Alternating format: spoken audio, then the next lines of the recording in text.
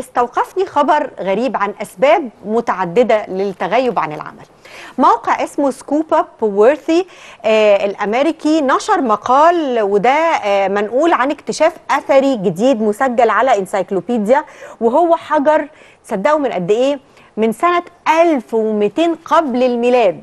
آه، اكتشف في مصر في واحدة من المناطق الأثرية المصرية. الحجر ده بيوثق أسباب أو أعذار غياب تصدقوا 40 مصري عن العمل من فترة قريبة جدا من حوالي 4224 سنة بس انت عارفة يعني بعيدا عن الأسباب اللي ذك- اللي ذكرت إيه أكتر حاجة لفتت نظري مم. لفت نظري النظام والدقة أساسا اللي هو يعني إزاي المصريين القدماء من 4224 سنة في الوقت اللي العالم كله كان فيه بدائي جدا إلى حد كبير وامتدت مظاهر البد- البدائية فيه لمنتصف العصور الوسطى كان عنده النظام ده والحضارة دي يعني مهتمين بالتوثيق إلى هذا الحد حجر بمثابة البصمة بتاعت الشركات آه. اللي هو غياب وحضور بس آه. منقوشة على الحجر آه يعني. بالظبط. وانصراف وليه سبب الانصراف مش مجرد يعني آه، مش موجود وخلاص لا حضرتك لازم تقدم حاجة آه. تثبت أنت. ليه آه كنت غايب وده معناه إن المصريين القدماء هم اللي عملوا أول قسم HR في العالم. آه آه بجد. بجد. ده الناس كانت عايشة في الضلمة وعايشة يعني في حالة مختلفة والمصريين بس برضه يدلك على البيروقراطية الدولة العميقة. عارفة اللي هي أيوة إيه؟ يعني يموت الملوك لكن الحجر منقوش عليه السبب. عارفة إزاي؟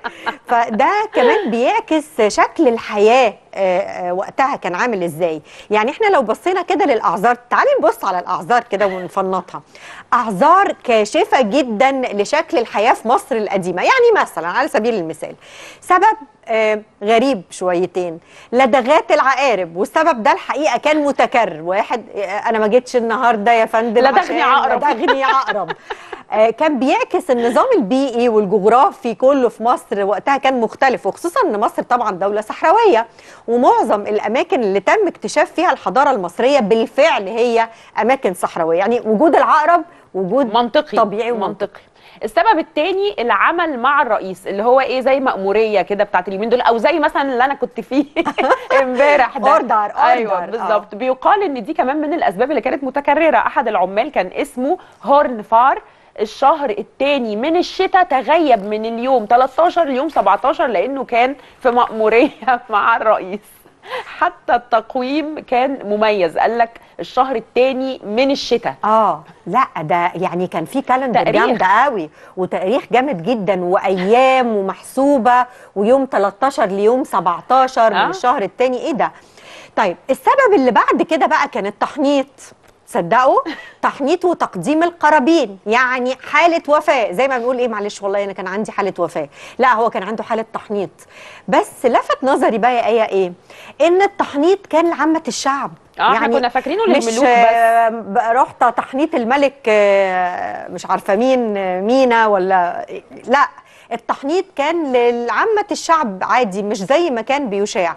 ويمكن إحنا نقدر نتفهم التحنيط لكن كمان كان في تقديم القرابين. أحد الأشخاص تغيب من الشهر الأول من الشتاء اليوم 24 و25 لتقديم سائل للإله من أجل الأب.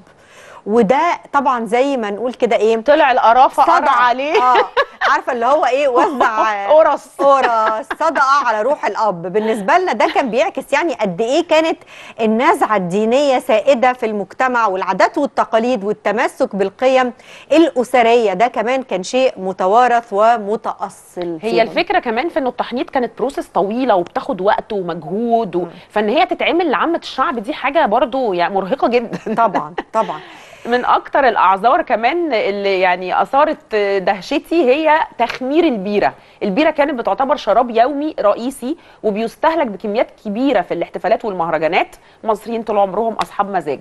كان العمال في الأهرامات بي بي بيحصلوا على 10 مكاييل يوميا.